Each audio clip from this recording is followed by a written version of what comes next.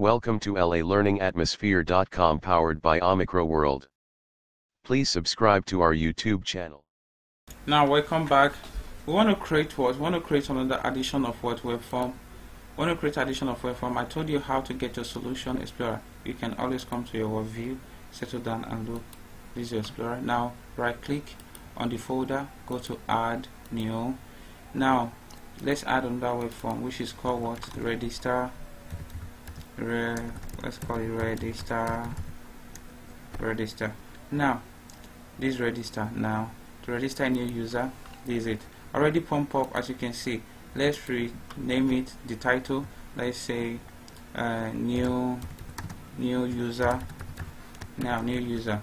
Now let's open it. Let's build and start debug start without debugging now we have here register if you can see the URL this is login we already have login but does not have register. Maybe the user has has no what? Register login username and password. You need to what? Click on register through here and login. Now let's go. Now place your cursor here by default. Place your cursor inside the div and double click.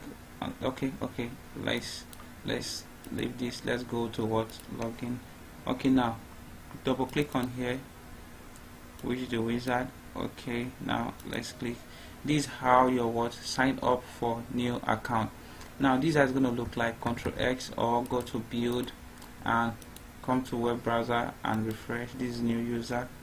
Now this it look like. Sign up for your new account. This is how it's going to look like.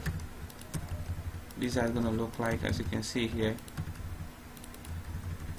Now this are going to look like now using what Microsoft what using an Microsoft ASP um, default login section it is already what already designed is an already designed. Now click on it go to this corner okay click on the angle go to format you can I see it here you can go to auto format and click on the design you want. So it can look the same you can click on the design you want. I always like to use this right click right click now oh okay that is what you can do this, what you can do here. You cannot alter this you cannot change it. Now you can edit the template now if you feel like to edit. You can edit the template but I don't want to. Just control X or build. Go to your view now refresh or reload okay this it look like. This is your login and this is it but we want to link this to get together. I want to link it together. Linking linking login and what register together. How it can appear. Thank you so much for understanding how to what create what register page or sign up for a new user. Thank you. See you in the next video